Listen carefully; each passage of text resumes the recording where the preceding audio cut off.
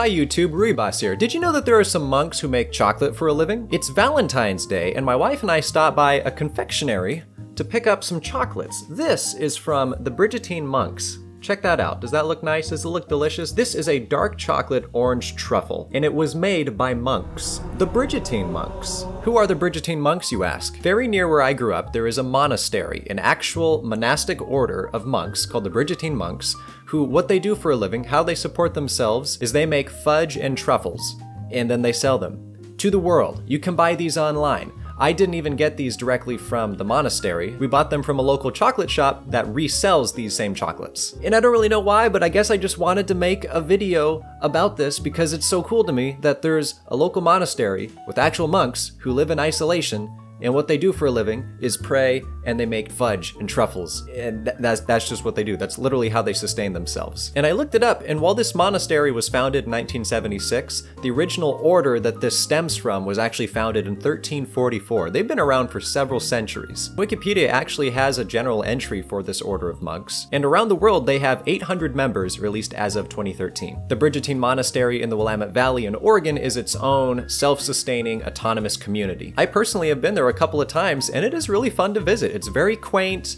They have the little chapel there, and then there's a little visiting center where you can go in and you can actually just sample fudge and truffles for free as much as you want. They have so many different flavors of the truffles, they have a whole bunch of different fudges. Again, you can buy these online and they are delicious, and apparently they're pretty famous too. According to their website, they have been featured on the ABC Nightly News and CNN, and their products have even been featured on Jeopardy. I guess I take a certain pride that I grew up near this place, and it's just so fascinating to me that it's an actual modern day order of monks who just live there in isolation and do their thing. But they make delicious confectionery goodness. So on this Valentine's Day, I would like to invite you to go check out the website for the Brigittine Monks. This is not a sponsor. This is not a it's not a paid promo. I guess this kind of is a promo, but no one knows that I'm doing this. I just decided to do this because I think it's cool and you need to know about it.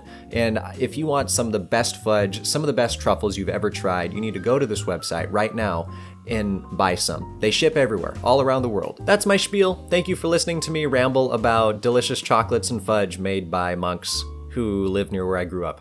It's pretty cool. If you have had the good fortune of actually trying some of these delicious things, mm, comment below your glorious experiences, and if you try it after this video, let me know, and I'll feel really good about introducing you to something incredible. That's all I got. Go eat some fudge. Happy Valentine's Day. Like, comment, subscribe, YouTube algorithm.